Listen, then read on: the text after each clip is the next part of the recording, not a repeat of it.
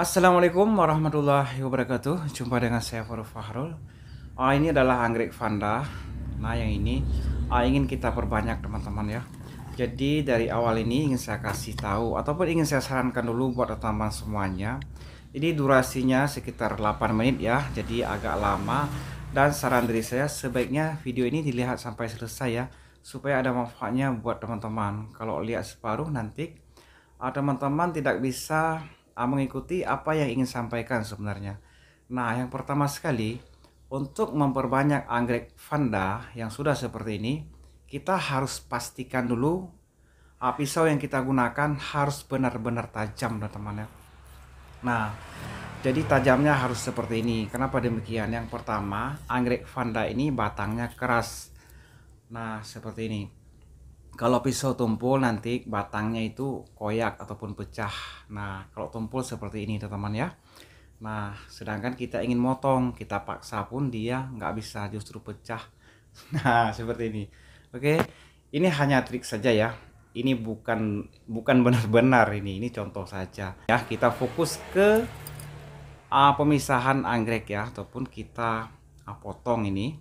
Ini kan ada dua tunas ya udah besar. Nah, di sini jadi di sini ada akar-akarnya ada teman. Ada dua kan. Jadi kita pilih uh, di antara satu yang mana yang lebih banyak akar. Yang ini yang akan kita pisahkan. Nah, kalau di sebelah sana banyak akar, maka yang itulah yang akan kita pisahkan. Jadi minimal dia harus ada tiga akar. Kalau lebih ya nggak apa-apa, lebih bagus lagi ya. Kalau dua akar boleh juga, tapi teman-teman harus hati-hati ya uh, saran saya ini sebenarnya harus ada empat akar lah supaya lebih terjamin uh, bisa tum bisa cepat tumbuh ya dan cepat membesar yang nantinya juga anggrek vanda kita akan cepat berbunga. Nah pemotongannya seperti ini kita lihat dulu teman ya karena untuk anggrek vanda kita nggak boleh buat cepat-cepat. Kenapa demikian? Ini kan video yang dulu sebenarnya ini sudah hampir sebulan lebih uh, sekitar nih sembilan bulan nih kalau nggak salah saya ya. Dulu ini kan udah tinggi, jadi saya potong videonya juga ada di sini dan tumbuh tunas uh, dua ya seperti ini. Nah karena sewaktu pemotongan dulu uh, saya katakan juga biasanya akan tumbuh satu tunas uh, bahkan ada yang dua tunas. Jadi nyatanya hanya tumbuh dua tunas. Tetapi ada kemungkinan juga ketika kita potong dia bukan tumbuh tunas teman ada yang tumbuh bunga duluan kemudian dia akan tumbuh tunas. Nah jadi kita pemisah kita lakukan pemotongan ya. Ini tepatnya bukan pemot bukannya pemotongan ya pemisahan ya. Kita pisahin seperti ini. Ini harus super hati-hati teman jadi jangan nanti pecah ataupun retak ya. Kita harus pisahkan dia ini. Uh, harus hati-hati sekali memang. Jadi kita buat pelan-pelan aja karena anggrek vanda ini masa tunggunya ini sangat lama sekali. Jadi kalau kita terburu-buru nanti rusak. Nah, udah nunggunya ini uh, sekitar 9 bulan lah ya. Saya udah lupa. Uh, videonya ada di sini juga. Nanti teman-teman boleh melihat lagi. Nah, uh, ketika kita tarik kalau belum putus jangan dipaksakan ya teman ya. Jadi dilihat dulu bagus-bagus Nah seperti ini kalau udah putus akar-akarnya juga kita tarik pelan-pelan seperti ini teman Nah ini ada sekitar 4 berapa ini ya? 5 akar ya. Nah ini kita ah, simpan dulu. Ini nggak boleh diganggu lagi.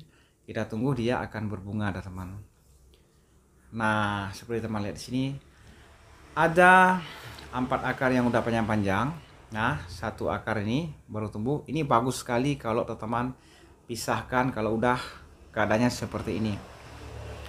Nah, ini sudah bisa kita tanam langsung ya ke dalam pot yang sudah kita sediakan sebelumnya, teman-teman. Nah, kita ukur dulu.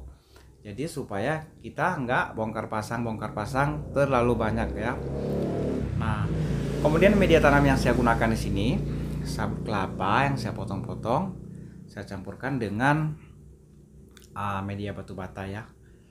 Nah jadi begini akarnya panjang jadi kita uh, keluarin aja keluar pot ya.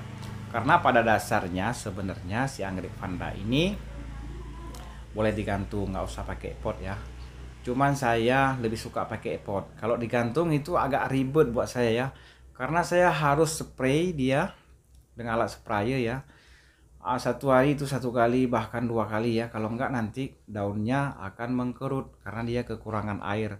Ah, disebabkan daerah saya ini adalah iklimnya panas cuacanya panas.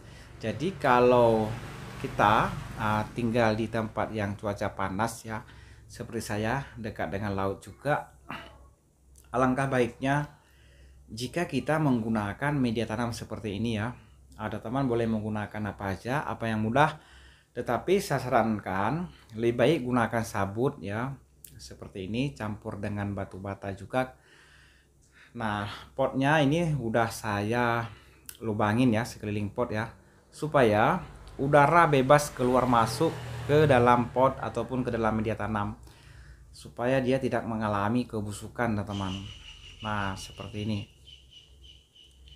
Uh, kalau media tanam yang seperti ini nyiram banyak-banyak pun nggak apa-apa ditaruh di hujan pun berhari-hari hujan nggak apa-apa teman ya. Karena masih sangat banyak celah di antara satu ketulan sabut seperti ini ya dengan ketulan sabut yang lainnya. Jadi udaranya bebas keluar masuk. Dan dia tidak akan membuat akar anggrek kita mengalami kebusukan teman-teman. Nah, uh, kemudian satu lagi jika teman-teman mendapatkan sabut kelapa seperti ini ataupun teman-teman yang di kota ya bisa juga mendapatkan sabut kelapa itu di tempat di pasar ya. Tempat orang parut kelapa banyak juga saya lihat. Jadi kita potong-potong aja seperti ini. Nggak usah dihaluskan ya. Kasar-kasar lebih uh, seperti ini kalau menurut saya ini uh, lebih bagus teman ya. Nah dia bisa mengikat air dalam jumlah yang banyak dan masih ada juga celah ataupun rongga di antara ketulan sabut yang satu dengan yang lainnya. Jadi tidak akan membuat akar anggrek kita uh, membusuk. Nah kalau udah ditanam seperti ini di lampot ya ini jangan dijemur teman ya. Letakkan dulu nih sekitar dua minggu di tempat yang teduh ya. Nggak ada cahaya sedikit pun nggak apa-apa. Supaya dia cepat pulih ya cepat subur. Nanti baru kita keluarin pelan-pelan ya pertama sedikit-sedikit. Kalau udah lama nanti udah satu bulan lebih teman-teman boleh letakkan di mana aja. Karena sebenarnya anggrek fada ini tahan terhadap cahaya matahari teman-teman. Tetapi alangkah bagusnya jika teman-teman meletakkan anggrek vanda di bawah jaring paranet dan jaring paranetnya itu cukup satu lapis walaupun jaring paranetnya itu yang tidak rapat ya, yang jarang maksud saya. Oke, terima kasih buat sudah berkunjung. Semoga ada manfaatnya. Assalamualaikum warahmatullahi